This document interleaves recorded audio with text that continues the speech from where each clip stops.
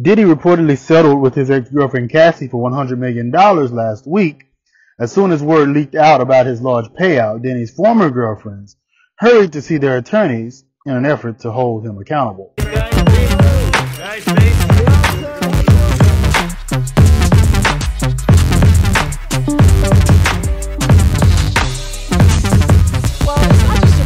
black culture. I'm excited. I'm so excited for you. This is our culture. So.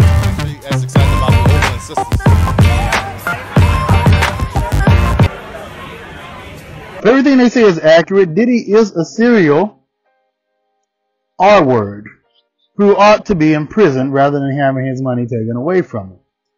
In the first new lawsuit, which was filed on Thursday, the plaintiff is a former Syracuse University student who alleges that Diddy assaulted her after inviting her back to his studio after they had dinner at Wells Restaurant in Harlem.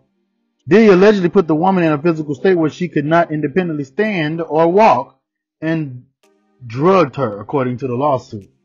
She was taken to a music studio where she couldn't get out of the car.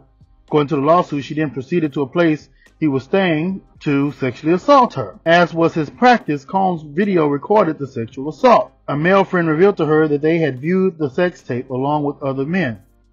This is all according to the lawsuit. Another one was filed today. The third woman, Jane Doe, claims she and her friend went to an event at MCA Records, Uptown Records distributor, at the company's New York headquarters where they met Diddy and R&B singer Aaron Hall. The filing states, throughout the night, Combs and Hall offered drinks to Jane Doe and her friend in a very flirtatious and handsy manner. Diddy and Aaron allegedly invited the women back to Aaron's apartment for an after party as the event was coming to an end. According to the fling, Jane Doe was forced into having sex with Combs while at Hall's apartment and was offered more drinks. Shocked and traumatized, Jane Doe lay in bed after Combs had completed his business. While she was putting on clothes, Hall stormed into the room, pinned her, and made Jane Doe have sex with him.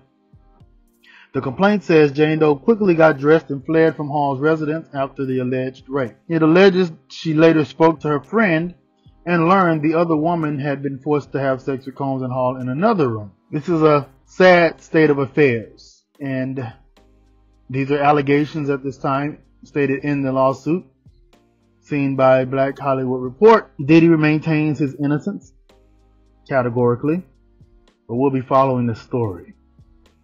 I'm Lamb, and this is the Black Hollywood Report.